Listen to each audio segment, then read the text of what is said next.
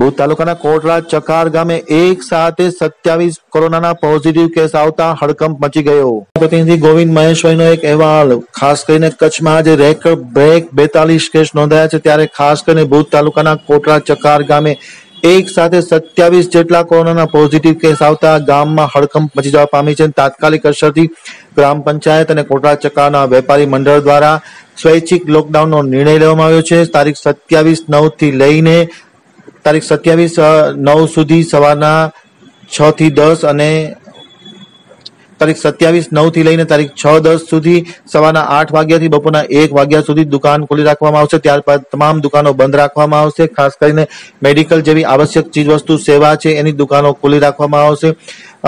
ખાસ કરીને આરોગ્ય વિભાગના તંત્ર દ્વારા આજે સવારથી જ ટેસ્ટિંગ કરવામાં આવ્યું હતું. રેપિડ ટેસ્ટિંગ કરવામાં આવ્યું હતું. આ ટેસ્ટિંગમાં ખાસ કરીને કોટલા ચકાર અને તેની આજુબાજુના વિસ્તારના કુલ મળીને સિત્યાવીસ જેટલા પોઝિટિવ કેસ આવતા તાત્કાલિક અસરથી તંત્ર હરકતમાં આવ્યું છે અને અનેક પ્રકારના શ્રેણીબંધ પગલાં લેવામાં આવ્યા હોવાની વાત અમારા પ્રતિનિધિ ગોવિંદ મહેશ્વરે જણાવી હતી અને ગ્રામ પંચાયત પણ આ બાબતમાં એક્ટિવ બન્યું છે. સરપંચ સહિતના પદાધિકારીઓ, તલાટી મંત્રી વગેરે આ બાબતમાં ખૂબ જ કામ કરી રહ્યા છે.